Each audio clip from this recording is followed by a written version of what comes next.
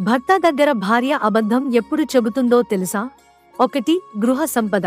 మంచి భార్య తన ఇంటి సంపద వివరాలను తన భర్త నుండి దాచిపెడుతుంది. భర్త కంటే ఎక్కువ సంపాదన వచ్చినప్పుడు ఆ విషయం తెలిస్తే భర్త బాధపడతాడు అనుకున్నప్పుడు ఆ విషయాన్ని దాచి పెడుతుందట నిజం చెబితే మగాడి అహం దెబ్బతింటుంది. అతని ఆత్మగౌరవం దెబ్బతింటుంది. కాని అలా జరగకూడదని ఆమె ఆందోళన. అందుకే భర్త ఏం అడిగినా పెద్దగా మాట్లాడదు. రెండు పాత ప్రేమ కథలు. ఆమె తన గత ప్రేమల గురించి ఏ మహిళ తన భర్తతో పంచుకోదు. ఎందుకంటే అలా చెప్పాల్సి వస్తే తర్వాత ఎలాంటి పరిణామాలు ఉంటాయో మహిళలకు ఖచ్చితంగా తెలుసు. అందుకే ఆ విషయాలను దాచిపెడుతుంది. మూడు డబ్బు. బంగారం.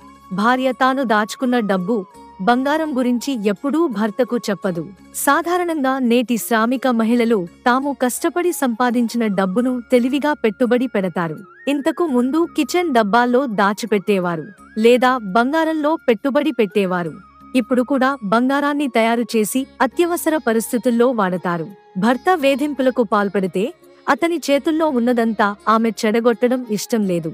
నాలుగు భోజనం భోజనం విషయంలోనూ చాలామంది మహిళలు భర్తకు అబద్ధం చెబుతూ ఉంటారట.